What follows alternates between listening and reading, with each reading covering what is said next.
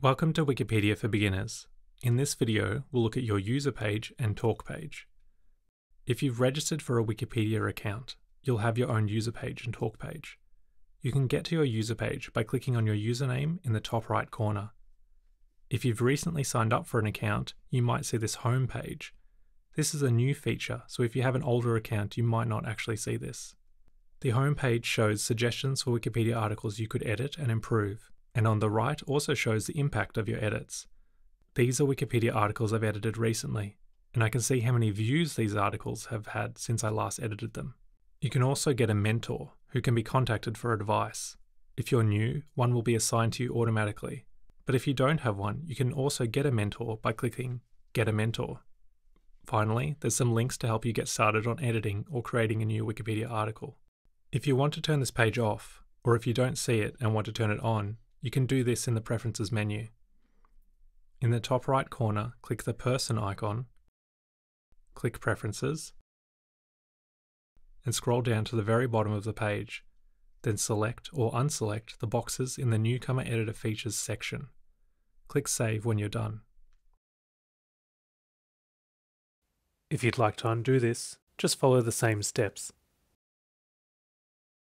Let's go back to the user page now by clicking your username. As mentioned, if you turned off the home page, you won't see this, but I kept mine on. So I need to now click the user page link to go to my actual user page. And this is it. If you've just joined Wikipedia, you may get a prompt to create your user page. We can do that in a moment. The user page is where you can introduce yourself to Wikipedia and let people know why you are there. You might say something about the topics that interest you, or list some of the Wikipedia articles you want to work on, you can write whatever you want, but please don't put any personal information on there. Because I work for Wikimedia Australia, I've added information explaining who I am. But for most people, adding your name or the name of your workplace might not be the best idea. You would usually only do this if you have a possible conflict of interest and want to declare it. So let's edit your user page. Click the edit link and start typing. If you didn't already have a user page, then you should see the same editing window and you can begin to type to create your page.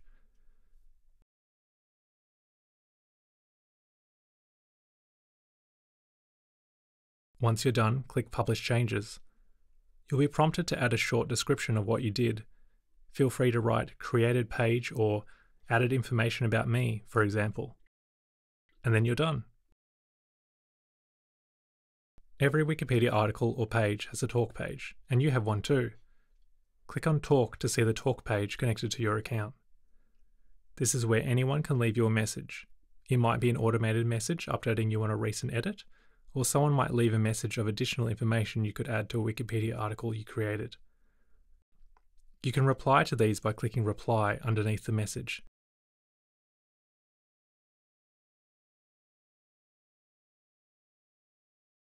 And then click the reply button to publish it.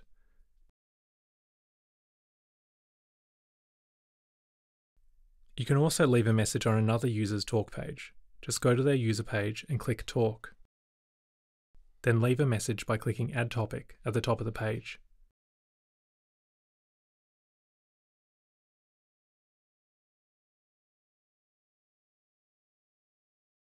And then click Add Topic to publish a comment.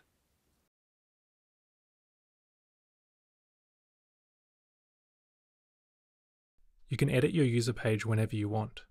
You can even customize it by adding photos or a user box with various bits of information about you. Find the user box page by going to the search bar at the top of Wikipedia and typing wp colon user boxes.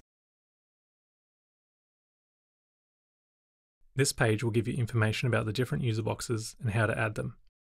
Have fun!